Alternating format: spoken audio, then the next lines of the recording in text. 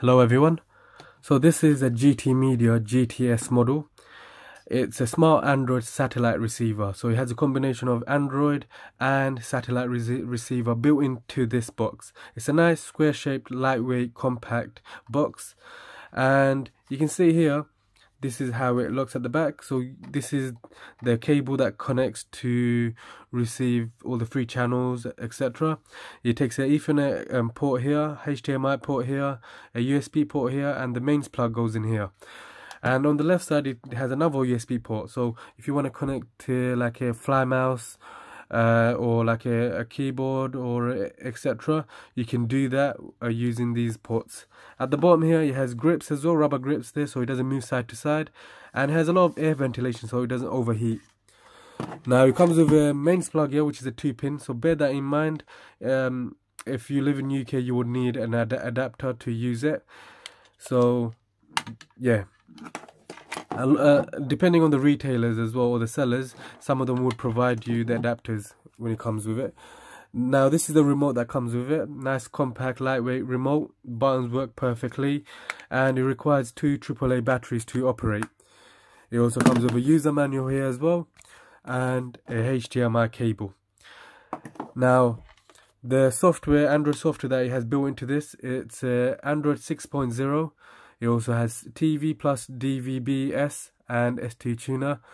And this can also the the resolution of this box it can uh, it works 4K 60 FPS so it, that's pretty cool.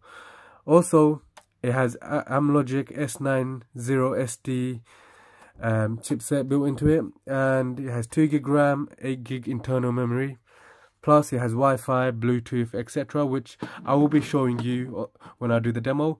So I can show you exactly how the layout is, how the Android, how the free channel works, how to get all these um, when you get this up. So stay tuned, let me get this up and I can show you exactly how it looks on the screen.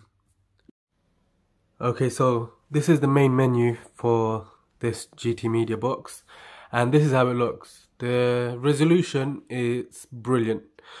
Now we got the GT player there, you got the apps, so you click on the apps, you got all the apps to go through, Disney Plus, and this box operates very smoothly. I had previous Android boxes, they operate a lot slower, and I like how smooth this one operates.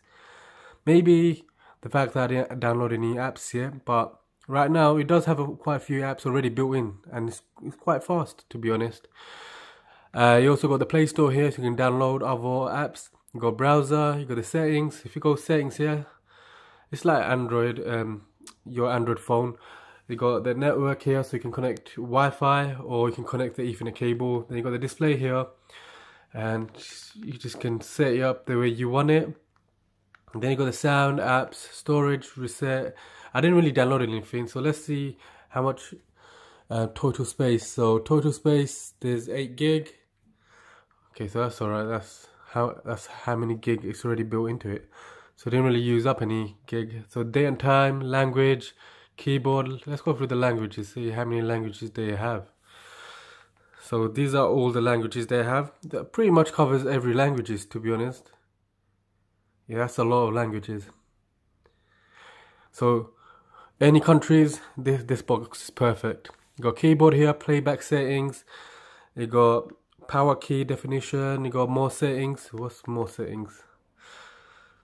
Okay now that's a proper android layout here. So where you got the accounts etc and then you go down you got bluetooth remote accessories. So you can add the bluetooth remote. Then you got the remote there. Then you got location security restrictions add account. That's everything there. And then you got the web on the top, uh, bottom right corner. You got these other few extra things here. The, the gallery there as well.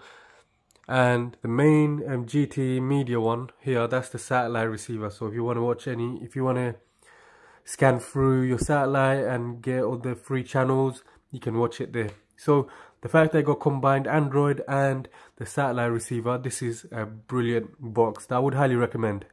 So thank you for watching my video. Please do give a like and subscribe.